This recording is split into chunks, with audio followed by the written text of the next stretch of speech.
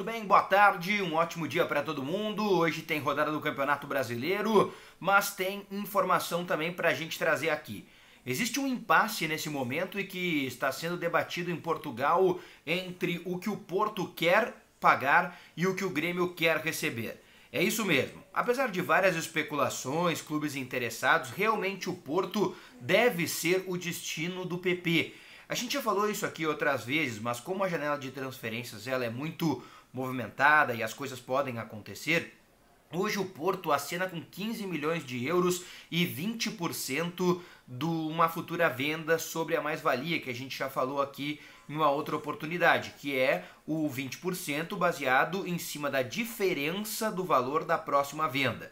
Mas o impasse é que o Grêmio não abre mão dos 20 milhões de euros pelo jogador. A entrevista que foi dada ontem pelo empresário do PP, que a gente trouxe aqui detalhes em um outro vídeo, elas estão chamando a atenção porque ele é um jogador que o Grêmio e o empresário entendem que vale 20 milhões de euros hoje. E o Porto entende que só pode pagar até 15 milhões de euros. Não é que o Porto não tenha dinheiro, é que estruturalmente dentro do elenco existe hoje para o Porto uma ideia de como em outras oportunidades, de comprar para revender. Só que recentemente o Porto não fez grandes revendas. Lembremos aí revendas interessantíssimas, como o Éder Militão, que veio do São Paulo para o Real Madrid, como o próprio Rames Rodrigues, que veio do Banfield e foi para o Real Madrid, e assim por sequência, ou seja, várias revendas de alto valor.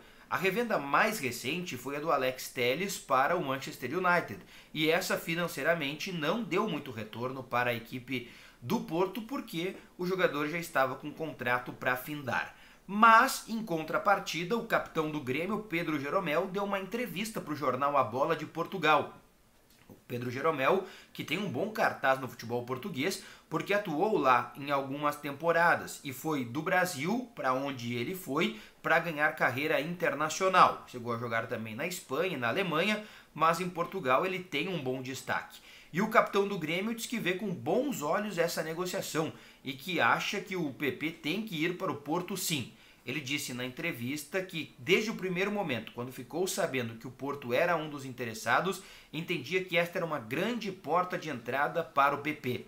E foi justamente isso que ele acabou destacando na entrevista, dizendo que o PP tem uma enorme qualidade e que acha que o PP tem que ir para a Europa para jogar no Porto. Deixou a porta aberta com o seu aval. O Pedro Jeromel não chegou a jogar no Porto, mas como tem esse cartaz, pesa, e especialmente pelas ótimas temporadas recentes que fez à frente do Grêmio, também tem mais do que credibilidade para falar sobre essa situação. Mas é, existe esse impasse financeiro, um quer tanto e o outro não pode pagar tanto assim, ou pelo menos não quer, mas o aval do capitão o PP já tem para deixar o Grêmio e jogar no futebol português. Grande abraço, até a próxima, fui!